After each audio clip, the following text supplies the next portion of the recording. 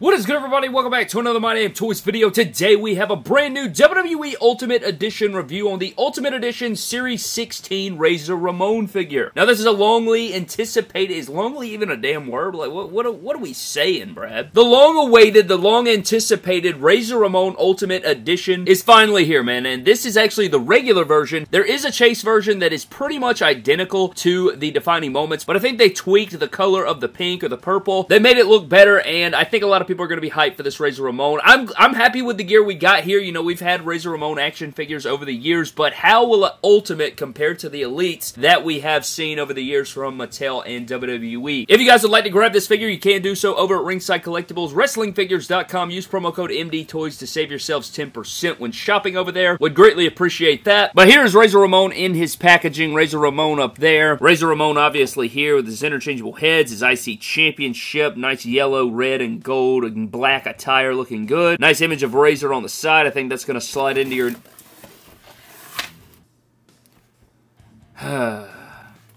Damn this background. And we're back. Here's a shot of the back of the packaging. You got a picture of Razor there, Razor's name there, an image of actual Razor, some info bio, all the good stuff, man. Razor Ramon on that side, and that pretty much wraps up our packaging for this Razor Ramon. Ramon. Good God in heaven, man. Get a grip. Nonetheless, man, we're going to crack Razor Ramon out of his packaging, find out what he's all about, and see if this is the Razor Ramon that we think it is. But we won't know unless we crack him out of his packaging. So with all that being said, also, that's out of line, bro. Scoot over a little bit. There you go. Let's shut the hell up, crack him out of his packaging, and find out.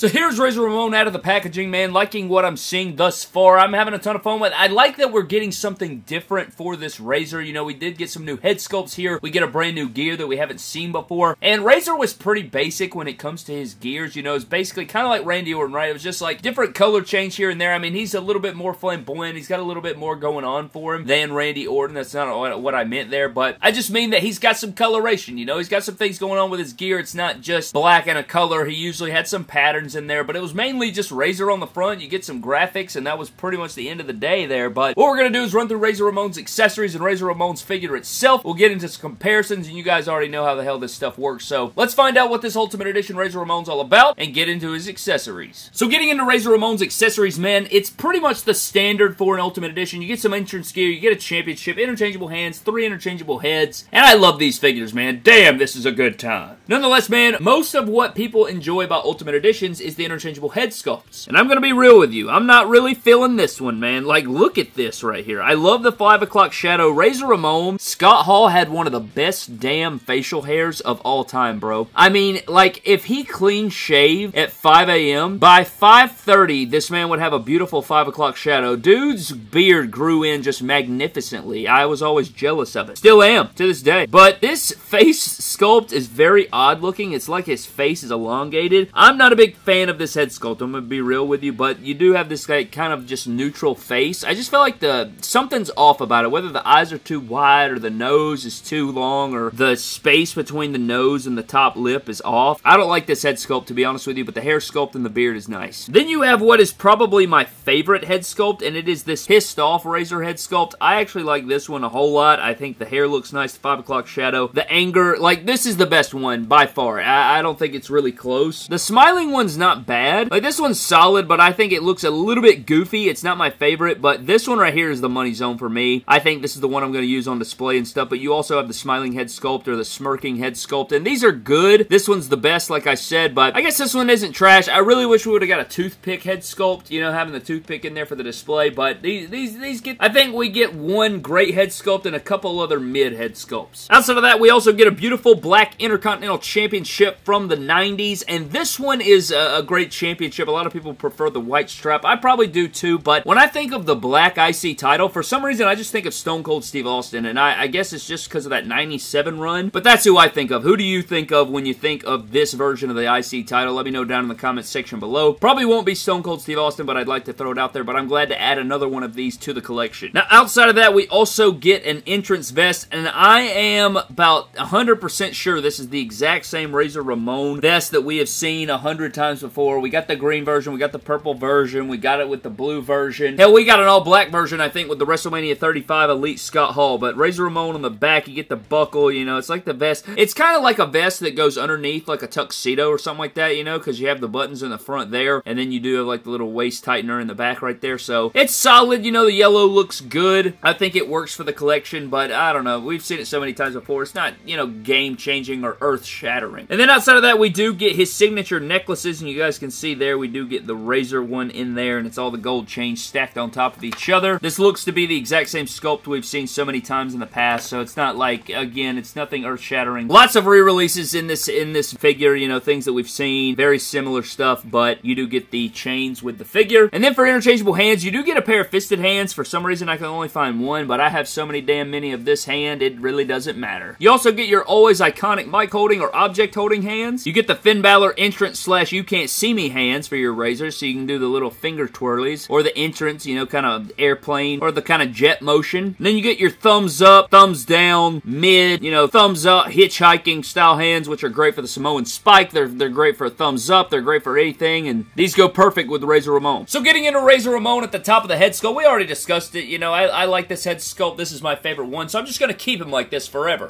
But seriously, though, I mean, isn't this the best one? You guys can let me know down in the comment section below. But this torso actually shocks me. You know, I'm pretty sure this is the exact same torso they used for Jeff Hardy and AJ Styles, because this is not the fan takeover Shawn Michaels. That one actually is a tad different, which you guys will see in the comparison shot of the video, but I love the hairy stomach and chest that is accurate. Hell, I think even like hairy arms would have been cool to add to this figure or something like that. But you do have the black elbow pads in there, the double jointed arms, butterfly joints. You get the razors on the back of the left elbow pad, and then you do have the red trunks with the gold razors and then you have a razor on the front there. Very cool. You do get the displaced hips here, which we'll go over the articulation very soon, but you have the bright red trunks. You have the same thighs that he's always come with, I'm pretty sure, like the same exact formula. These may be a little bit bigger, but I'm pretty sure it's the same. You have the big black knee pads with the gold razors on there, and then the tall black boots with the white outsoles and the white laces. Nothing too over the top right there. It's a Razor Ramon, you know? I think it gets the job done. I, I Again, I really like the formula that they have going here. Butterfly joints are tight. They're not super loose. You can bring it all the way back, and, you know, you get the double jointed arm in there. Ab, like, uh, these Ultimate Edition torsos are not good. You guys know that. But he's got the displaced hips, which allows him to, you know, do some really good kick forwards and stuff like that. I really like the displaced hips right there. Sometimes it can be a little bit annoying, but I'd rather have them than not have them, you know what I'm saying? I'd rather have them and not need them than need them and not have them, you know what I'm saying? But he's got the upper thigh cut. These large knee pads aren't going to do much for you, you know, you don't get a good knee bend in there, but you get the upper thigh cut, you get the boot rotation, you get the toe pivot right there, and, you know, it gets the job done. It's a Razor Ramon. What do you want? Hey, yo. So, you know what? I, I like the Razor figure. I think this might be the best Razor they've ever made, you know, at, at least from a Mattel standpoint. Probably not my favorite gear. I'd really like to see, like, that anthracite and light blue style, but uh, I like this. Let's get into some figure comparisons. And for figure comparisons, you do have the Fan Takeover Ultimate Edition Shawn over here, which is the better Shawn, in my opinion. You have the Razor Ramon Ultimate Edition Series 16, and then you have the Mattel Creations Fund, I almost said fundraiser, the crowdfunding Diesel Ultimate Edition, which is also great, but you gotta have all three of these up next to each other, and they kind of like mismatch. Like, look at all their gears kind of matching all together. You got the black and the red and the white, and then combined to make this, you know, championship gold. Yeah, you get the point, but you guys can see these torsos are different. This is the ultimate Jeff Hardy and AJ Styles torso, I'm pretty sure. Again, at least when I'm looking at it, you know what I mean? This is the skin tone that they should have used on AJ Styles, but what do I know, Brad? You know, lights are too bright for me. Can barely see out here. And then for your Razor Ramon figure comparisons and Scott Hall, you also have our WrestleMania 35 Elite Scott Hall, our Defining Moments Razor Ramon, our Ultimate Edition Razor Ramon, our Target exclusive 3-pack Raw 30th Anniversary Razor Ramon, and then the Legends Target exclusive Elite Scott Hall. So, I am missing the blue version of Razor Ramon, which does bother me, and I do have to get the chase of the Ultimate Edition, which is this over here, but this figure does look good up next to these. I really do wish I had my blue version, but we're going to continue to get Scott Hall. We're going to continue to get Razor, and I'm all aboard for it. I think it looks great, and I like the Ultimate Edition compared to the rest of the Elites. I know this 3-pack is very good as well, but I think I would take the Ultimate over this one. Yeah, I think I would. Yep.